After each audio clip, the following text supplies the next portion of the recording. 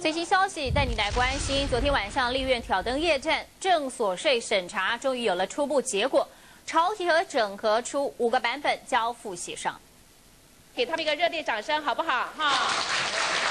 好不容易天，这所税版本虽然还是没办法统一，但至少从二十一个版本缩减为五个版本。议事人员光是念法案就花了将近五个小时，而最大的进展是将国民党立委推出的各个版本全部整合为行政院修正动议版。那柳暗花明又一村啦，最后弄弄出五个版本嘛。所以核实课税的部分，所以那个人数就很少了。国民党团支持的修正动议版，除了保留原本八千五百点才起征的设算制之外，增加落日条款，双轨制将执行到一百零三年底、一百零四年起。只保留分离课税制，但起征门槛不低，交易金额达十亿以上才课得到。IPO 与未上市柜部分税率从原本的二十 percent 降为十五 percent，只有一年以上减半优惠，三年以上更可降到三点七五 percent。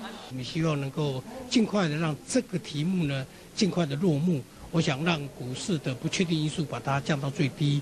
国民党本来是准备登陆诺曼底，现在搞成敦刻尔克大撤退，牺牲个部长。牺牲了三兆的股市，换来了不到不到五亿的税收。